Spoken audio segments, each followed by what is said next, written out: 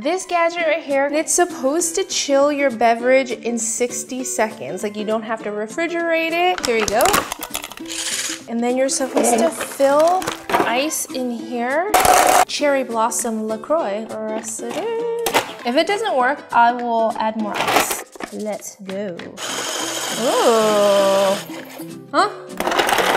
I mean, it's cold, but I wouldn't say like ice cold. I'm wondering if I needed to add ice at the bottom. I'm gonna test that too.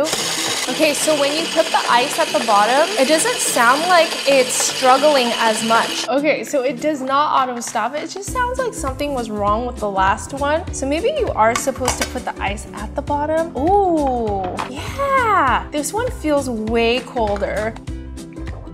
Now that's an ice cold drink right there. It does what it says 10 out of 10.